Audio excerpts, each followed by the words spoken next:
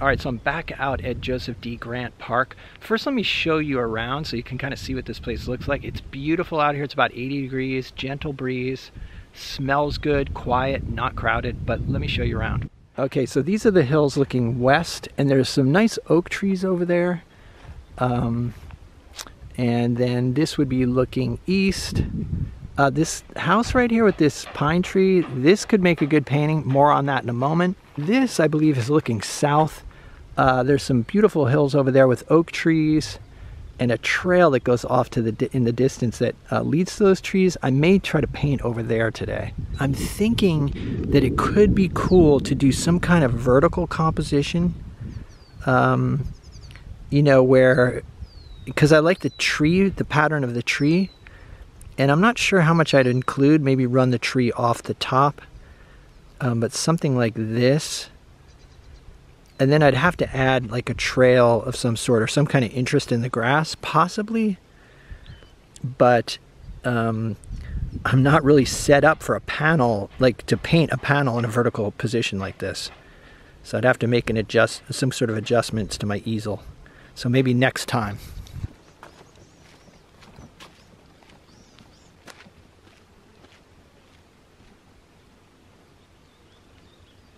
Thinking of making something of this scene right here. Uh, these fence posts, the trail, and these trees. Um, I'm gonna have to move things around uh, and I'm not exactly sure how I'm gonna compose this, but I've got a 16 by 20 inch panel, uh, my usual palette of colors, and I'm gonna be using Liquin as my medium. So the first idea I'm gonna try, uh, seems like the most obvious, is gonna be putting the top of the hill at about the third kind of slopes off this way. And maybe I'll put the trees kind of like this. There's a lighter colored tree over here that I can experiment with. And then let's put these little fence posts kind of down here, like that. And then there's the fence going off.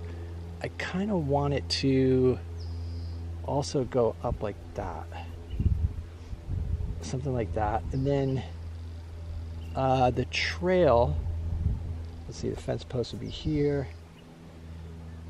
And the trail starts, kind of comes like this. I can maybe even widen it a little bit. And there's a kind of a, there's a, a break in the hill, a slight break right there. Let's see if I was to go like that and then maybe have it disappear over the hill and then pick up like this maybe something like that.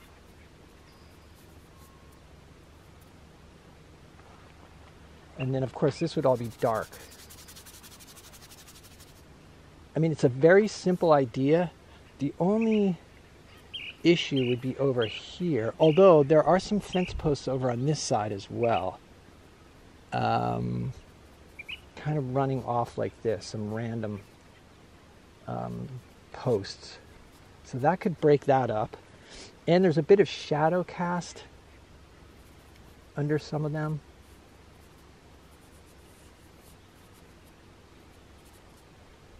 A bit of shadow right here as well.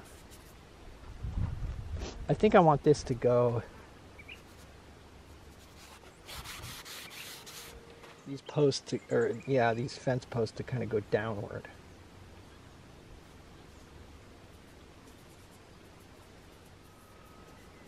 And then I can have the strokes come that way, maybe even this way up here. It's a simple idea, but I do actually like it. And I think it has a good feel to it. I'm going to tone this hill because I want some of that burnt sienna to be popping through um, the green, you know, so that I can get some uh, get some reds into this painting or oranges. And of course, I'm going to come over this with green.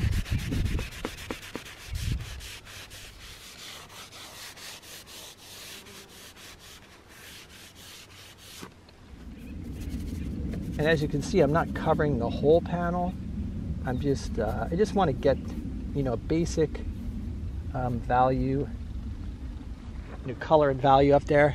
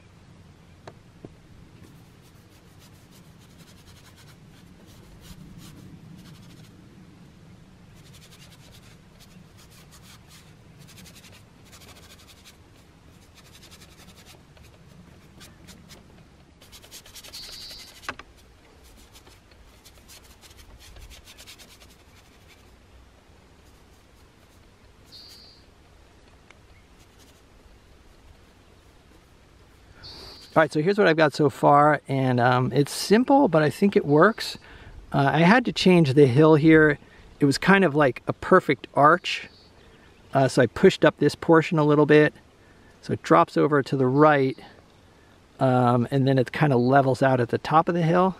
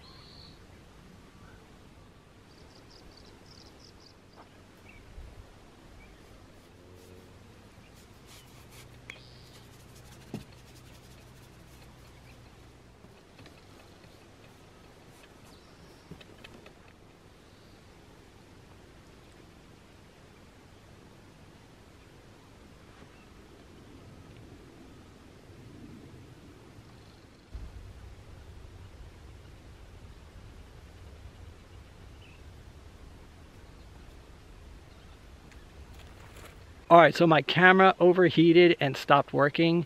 Uh, so I packed everything up and then I finally got it working again. So I'm gonna hike out of here. But anyway, let's go back to the studio and take a look.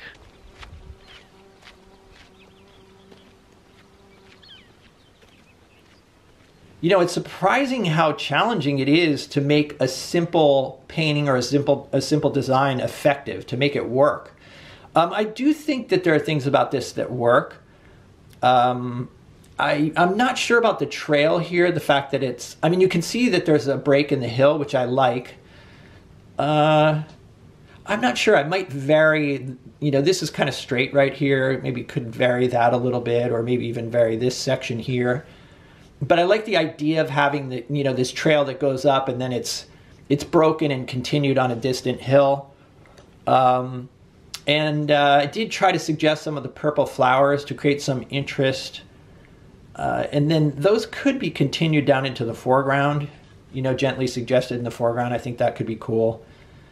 Uh, some of these shapes in here are a little bit awkward. That could be cleaned up. But this was mostly an experiment. So, you know, I've never done a composition like this, although it does remind me of a composition I've seen, uh, Christina's World by Andrew Wyeth.